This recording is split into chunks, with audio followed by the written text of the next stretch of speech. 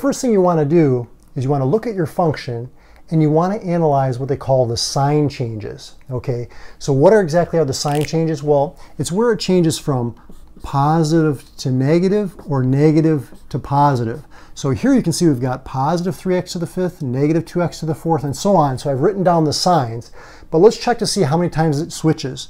So positive, negative, that's once, negative, positive, that's twice, positive, negative, that's a third time, negative to negative, it doesn't change. So that means we have a three sign changes. So what that tells us is we go over to our positive, negative, imaginary uh, chart over here. Sometimes this is called like a P N I chart. And what that tells us is we have a maximum of three positive zeros. Now what does that mean, three positive zeros? It means that when you go to the right of the y-axis over here, it's going to cross that x-axis a maximum of three times, right?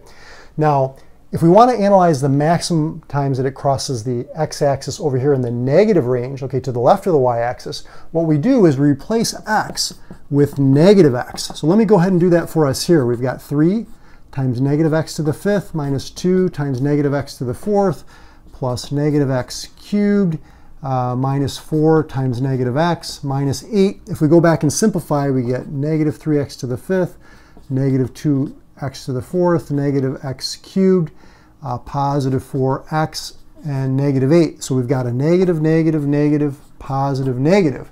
So here you can see it's changing once, twice. So what that tells us is that we have a maximum of two negatives.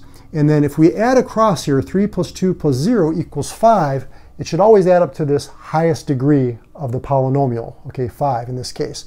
Now the other thing that's interesting is that if the coefficients of your polynomial are all real, meaning there's none that are imaginary, then what happens is if your zeros come, uh, if you have any imaginary zeros, they come as conjugate pairs. So what that means is, for example, if we had two imaginary zeros, then what happens is we have to decrease the number of positive zeros by 2 or the number of negative zeros by 2. So we always go down by 2, 4, 6, 8 by an even number, right? An even amount because of these imaginary ones coming in uh, conjugate pairs.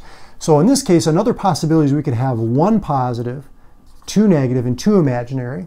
Another possibility would we could have three positive, zero negative, and two imaginary. Another possibility we could have one positive, zero negative, and four imaginary. Now, I can't take another two away from this one and make this a negative one. You can't have a negative number of zeros. So these are our only combinations here. Now, you're probably asking yourself, well, Mario, why does this even matter, right? Well, here's the thing. If you're trying to use your rational zero theorem to you know, calculate the zeros, the P over Q method you probably learned in your class, what you can do is you can be strategic. You can say, well, I know that there's at least one positive zero. If it's this scenario here or here, there might be uh, no negative zeros. So what you can do is you can say, well, I might not want to check over here for a negative zero first because it might be these scenarios where there's not any negative zeros. So I know there's at least one positive zero. Let me see if I can find that one first. And so it just gives you a starting point. It sometimes helps you to narrow down you know, the possibilities when you're going to check for those uh, rational zeros.